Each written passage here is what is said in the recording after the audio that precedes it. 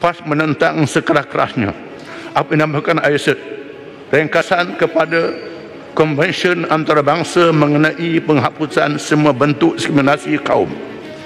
Konvensyen itu telah dibuka untuk ditandatangani dan disahkan mulai 21 Disember 1965 dan mula berkuat kuasa 4 Januari 1969. Hingga ke hari ini, Malaysia tidak mengesahkannya.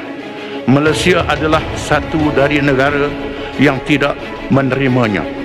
Peruntukan dalam perlembagaan persekutuan sudah mencukupi untuk memberi hak keadilan hak asasi manusia pada semua kaum keadaan yang tiada pencapaian yang sewajarnya kepada rakyat bumi putera dalam bidang ekonomi dan pendidikan walaupun jumlah mereka paling besar tetapi masih ketinggalan.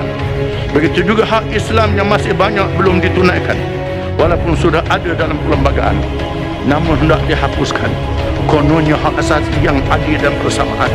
Ketahuilah bahawa yang adil itu maknanya meletakkan sesuatu bertempatnya yang sewajar bukan persamaan yang sewajarnya mengikut kemampuan. Kerana kemampuan yang berbeza mestilah diambil kira. Ketahuilah bahawa perjuangan menentang penjajah dahulu dimulakan oleh umat Islam. Bumi putra raja-raja ulama pemimpin dan rakyat sejak kedatangan Portugis 1511 hingga di Ogos 1957 sekaligus mencapai kemerdekaan dalam keadaan penjajah sengaja meletakkan bumi putra dan umat Islam dalam ketinggalan maka jangan dipermainkan HUS kerana kemenangan Pakatan Harapan dalam pilihan raya tanpa peduli keadaan demografi penduduk dan ketinggalannya yang masih gagal diusahakan maka PAS memberi amaran yang sekeras-kerasnya. Jangan menyalahgunakan parlimen kerana kemenangan Pakatan Harapan. Ketahuilah bahawa mudah bagi PAS untuk mengerah berjuta rakyat jalan raya. Sekiranya parlimen ini disalahguna untuk mengejar ISIS yang tidak adil terhadap Islam dan rakyat bumi putra saya ulangi sekali lagi maka PAS memberi amaran yang sekeras-kerasnya.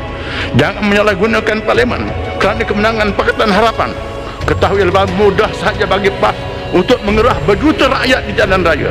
Sekiranya parlimen ini disalahgunakan untuk mengecerah agenda ISIS yang tidak adil terhadap Islam dan rakyat putra sepatutnya.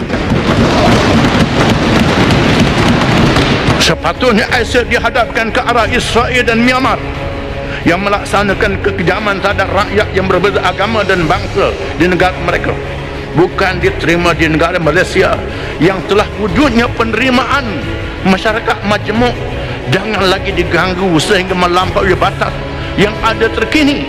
Jangan dilanggar lampu merah yang sedang bernyata. Jangan bersikap rasa jangan bersikap laksana diberi betis mahukan faham